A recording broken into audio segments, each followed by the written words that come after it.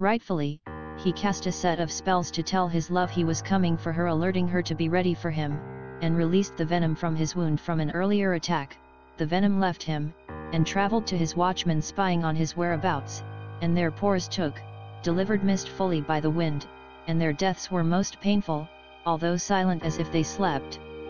Then the dragon used a debug spell from the future wizard net. All communications were completely confused, and watchmen watching over died. And a slayer nearby, a man who lay close named Mean Steve, a hired conspire who was purely evil, had a brain aneurysm, causing a snap of his death by sheer luck it would seem, but the energies of anger was electrifying in the air, as the dragon was so fierce. Now the dragon, yet it seems, he has no name, it appears he has not been seen by any record, or book of knowledge either, and quickly wrote off by his peers, by lack of willingness to hear of his great strength. Just a dragon, continued, and embraced the journey he loved, his lady he was going to rescue. He swooped toward the lanterns of the watchmen, to rescue his love. The dragon pissed off, and angered of the capture of his heart, beyond his control,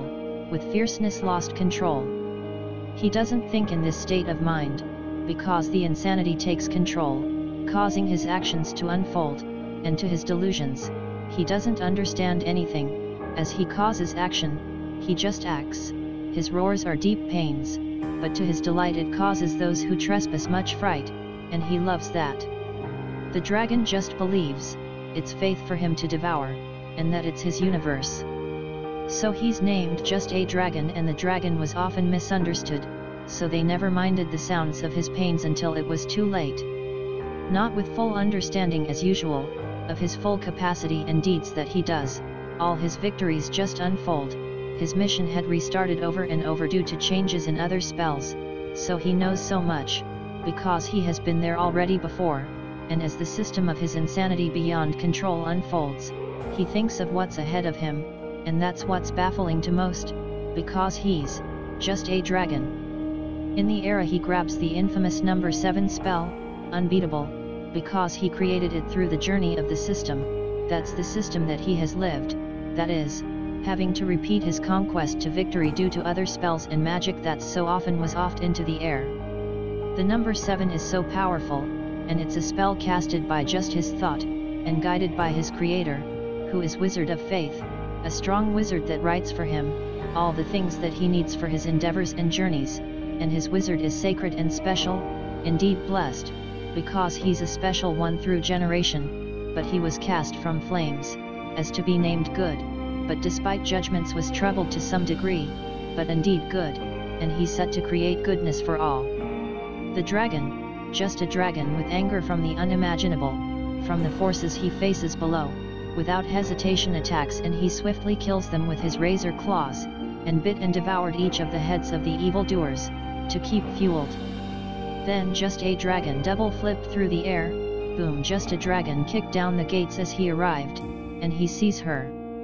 However, there is a snake threatening her with venom and without fear, he sends venom again by his breath this time, all that was left in his wound not sparing a chance, and the snake was numbed instantaneously, and like a dead weight became limp and fell to his death. He explores and there are many more slaved, and all lay weak and hopeless, because it would take a dragon to save them as they are all chained for market with deep sadness. The dragon busted out a flame of his, that he knew would not penetrate their flesh, just hardness, it's a metal eroding flame that erodes in only seconds, and the slaves were set free and they were overjoyed, they spared not a second as they ran one by one up the dragon's back, and they held tight grasping onto the rough scales of just a dragon. Before long only a brief, but long minutes just a dragon surveyed and took flight high into the air, they were into the air free with sheer happiness, and with rose smiles, despite the long hardness they recently suffered, flying high through the air they were happy and lit by the Roman-like atmosphere. The dragon's love, knew just a dragon, would come, because she sent signs, piece by piece to provide a map over time, by the only power she knew. Just a dragon used to transport whole, not to waste any time despite a rough transfer into the land of just a dragon. He didn't want to spare a second longer to get his lady in his arms, and close to his heart. His love, and newly found friends from the shared torture, slavery, and united rescue they danced and sang songs of joy, love, and full of life, surreal it must have seemed to them because they hoped not for just a dragon to come.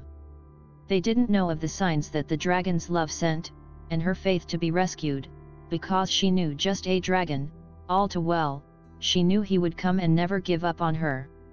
Back to safety they all were happy as they sang, home now is the feeling, how warm the hearts so filled with emotion felt, full of delight.